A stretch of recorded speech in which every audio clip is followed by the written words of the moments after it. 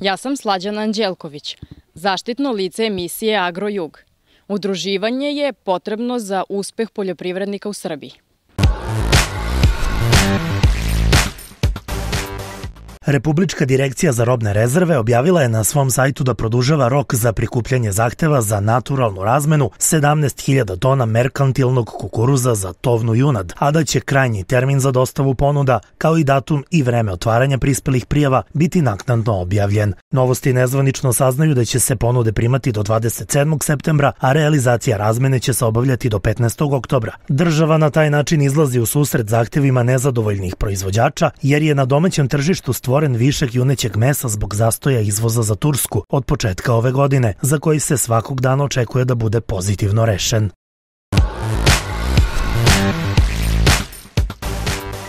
Novi šesti javni poziv za program IPART trebalo bi da bude raspisan do kraja ove nedelje, potvrdio je za politiku ministar poljoprivrede Branislav Nedimović.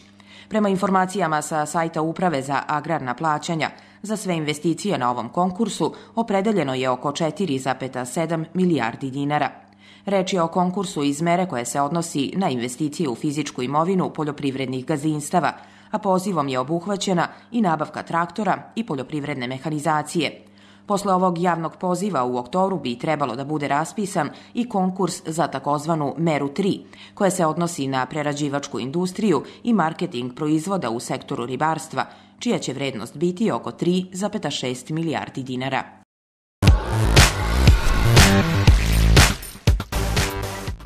Opština Bajina Bašta usvojila je pravilnik o dodeli bespovratnih finansijskih sredstava u iznosu od 1,6 miliona dinara za pomoć mladim bračnim parovima iz ruralnih područja. Maksimalan iznos po jednom bračnom paru je 200.000 dinara. Na ovu pomoć mogu da računaju mladi bračni parovi gde je jedan od supružnika stariji od 18 godina, a mlađi od 40. Bespovratna sredstva su namenjena za nabavku nove opreme i mehanizacije za poljoprivrednu proizvodnju i preradu proizvoda, za nabavku nabavku sertifikovanog sadnog materijala i priplodnih grla u govedarstvu i ovčarstvu.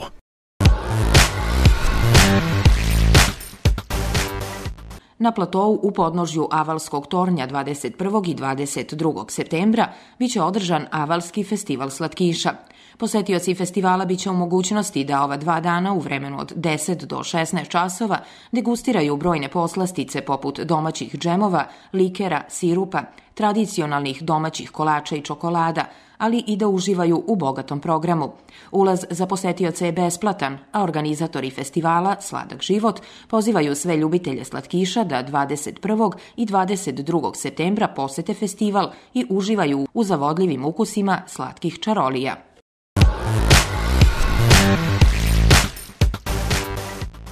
12. sajam poljoprivrede biće održan 5. oktobra u Kruševcu. U sklopu sajma biće održana 19. po redu regionalna stočarska izložba, kao i treća nacionalna izložba u govedarstvu. Najavljeno je učešće oko 70 grla krupne stoke i 200 koza i ovaca, kao i oko stotinu sajamskih izlagača. Posetioci sajma uživaće u bogatom kulturno-umetničkom programu, a bit će izabran najbolji kotlić, najlepši slavski kolač i srpsko tradicionalno jelo, kao i najuređeniji seoski izlog – Organizatori 12. sajma poljoprivrede su Komisija za podsticanje razvoja poljoprivrede i Služba za poljoprivredu grada Kruševca, a su organizatori Poljoprivredna stručna i savetodavna služba Kruševca i Centralno udruženje odgajivača goveda Simentalske rase. Sajam će biti otvoren u 10 časova, a proglašenje pobednika zakazano je za 13 časova.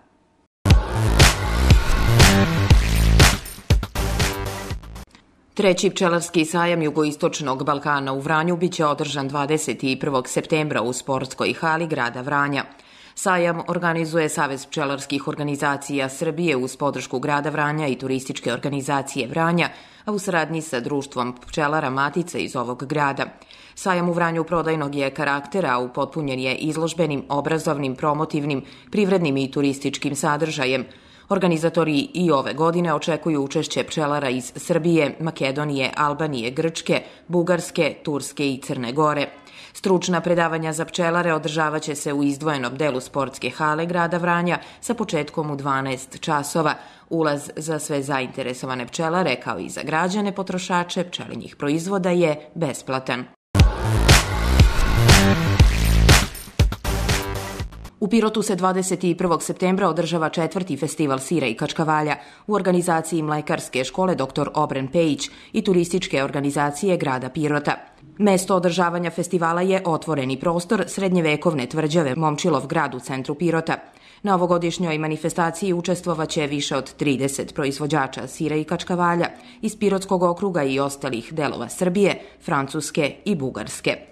Pirotski kačkavalj jedan je od najznačajnijih pirotskih brendova, proizvod sa zaštićenim geografskim poreklom. Pored degustacije različitih sireva i kačkavalja kao i vina, posetioci će imati prilike da probaju i specijalitete kao što su džubek i svrliški belmuž, demonstracijom izrade i ispravljanja istih, kao i specijalitete srednjovekovne trpeze – Organizatori manifestacije obezbeđuju potrebnu izlagačku infrastrukturu za sve izlagače bez nadoknade, parking prostor i sve druge potrebne uslove. Festival sira i kačkavalja je izlagačkog i prodajnog karaktera.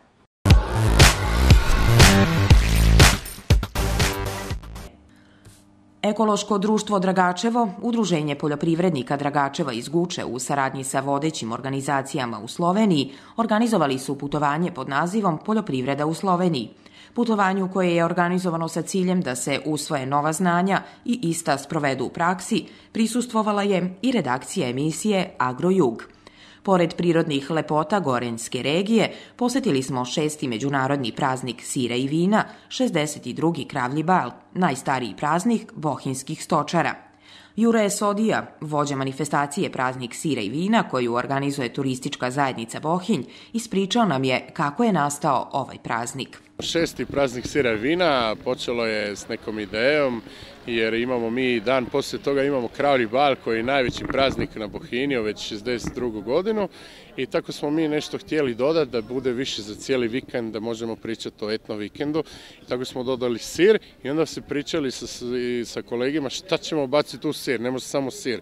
I onda naša najbolja ljubav je sir i vino, tako smo počeli sa praznikom sira i vina. I ove godine imamo prvi put međunarodno a vizija nam je za da bude stvarno što više iz cijele Evrope, po većini iz Balkana volili bi, to nam je nekako najdraže, da to bude veliki događaj, da bude dve takve hvali trebali, e, a najviše nam je želje zbog toga jer je to super termin malo van sezone, jer mi smo stvarno 7. i 8. mjesec puni smo na Bohinju, tako želimo to sezono razvući i sa takim događajima. Na 12 štandova na kojima se prezentuje sir, na čak tri su proizvođači iz Srbije, kaže Jure, i dodaje da su, pored izlagača iz cele Slovenije, prisutni i izlagači iz Nemačke. Jer mi imamo pobretenu općinu, imamo Ramzal, pa zbog toga su i oni došli, ali želje je naravno da bude još više tih international uh, gostova, ali za ove godine ima ostali su Slovenije, ali dolaze iz cijele Slovenije, to znači nismo se ono samo na lokalno ubacili, bacili smo se na cijeli svijet u stvari, a sad samo da nam to sve uspije i da dobijemo što više tih što više tih izlagača, ali nama je po, najvažnije nam je da je sve to interesantno za ljudi, jer tada ćemo uspjeti. To znači što više različitih. Meni je najdraže kad vidim tu sad ovo, recimo, srski pa kajmak, pa mozzarelu, pa ovči kozi, to što mi nemamo toliko i to je isto neka vrijednost koju možeš dati svojim ljudima, to znači i našim ono, ljudima iz Bohinja, iz Gorenske Slovenije, da nešto nove vide, proba i možda čak zbog toga neko ide i, i da kažemo na Balkanski čist festival ili nešto slično. Kako Jure posećuje često manifestacije u Srbiji, a prisustvovao je i čist festivalu u Beogradu, pitali smo ga da prokomentariše sličnosti, razlike i eventualne primere dobre prakse koji se mogu preneti uvijek možeš naučiti kad gdje ideš, uvijek je nešto novo, uvijek svaki ima neke ideje. Dobro je što ti organizatori surađivamo, ja mislim da ćemo to i napred, ja mislim da iz toga možemo svi više i više dobiti, to znači po jednoj strani interesanta, eh, goste i možemo se tu suradnju, tu neku promjenu stvari, ljudi i svega, A naravno, ja mislim da što sam ja vidio u Srbiji na, tom, na toj manifestaciji, bila je to vrhunska manifestacija. Što je razlika možda između mog festivala i tamo je to da mi imamo stvarno samo sir i vino, a tamo su i sve te neke, neke druge stvari, da je više, možda čak više življe nego ovde, barem za sad, ali tu smo nekako htjeli napraviti malo kao viši nivo kao eno kulinarike, to znači vino, vino, kuhinja i to, to što je sad u trendu, jer to je stvarno u, u tim zadnjim godinama, to je u, u svijetu ta fudi, da kažemo, događaju za fudije, to je stvarno jako i to je naš, na, mi hoćemo biti tu na, tom, na toj mapi, na toj karti tih, tih manifestacija i ja se nadam da uspijemo, tako i u Srbiji, tako i kod nas. Na najvećoj jesenjoj smotri agrara u Šumadiji predstavilo se preko 200 izlagača biljne i stočarske proizvodnje, a najveći deo izložbenog prostora ispunila je mehanizacija, oprema i alati za poljoprivredu i stočna grla. Uz bogat prateći program koji su činila stručna predavanja i tribine o aktuelnim temama iz oblasti poljoprivrede, Tokom četvorodnevnog sajma održane su i tradicionalne stočarske izložbe i izložbe pernatih i sitnih životinja – Izlagači iz Belorusije i Turske sajmu su dali međunarodni karakter, rekao je pored ostalog direktor Šumadija sajma Zoran Nedeljković i dodao da o kvalitetu i značaju najvećeg sajma poljoprivrede južno od Save i Dunava svedoči sve veći broj izlagača koji se svake godine rado vraćaju u Kragujevac zbog dobrih poslovnih rezultata. Imamo dosta više izlagača u odnosu na prošlu godinu, tako da i sami vidite u hali ograničen prostor. Takođe je sada postalo da je i napolje ograničen prostor jer sve je popunjeno.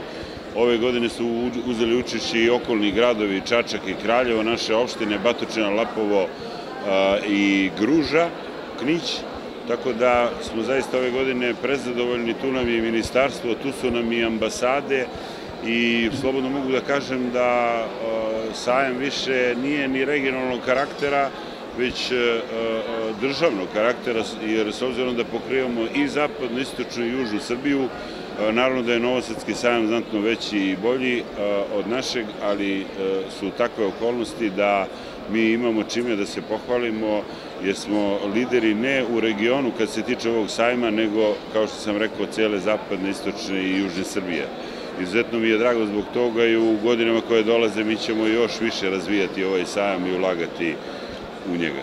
Direktor sajma Nedeljković zahvalio se generalnim sponzorima 16. šumadijskog sajma poljoprivrede, RTI-u, Zlatnom Vex grupu i mehanizaciji Trgomen, Srebrnom Viliđeru i prijateljima sajma Jović Viljuškarima i Gruža Agraru, kao i partneru sajma Dunav osiguranju i pokrovitelju gradu Kragujevcu. Mi ćemo, evo ja obećavam sa ovog mesta, Ove, svakako da ovo mi ne bi mogli sve ni da uradimo da nije grada Kragovac i lokalne samouprave i posebnu zahvalnost dugujemo našem gradonačelniku i predsjedniku Skupštine i gradskim većnicima što su zajedno sa nama i sa menadžerima Šumadija sajma i sa svim zaposlenim uspeli da ovo preduzeće stavimo na noge i da danas izgleda kako izgleda. E, tako da meni je izuzetno drago zbog toga i želim vam da u Kragovicu provedete lepe trenutke i da ponesete lepe uspomene iz Kragovica. Hvala vam svima još jednom.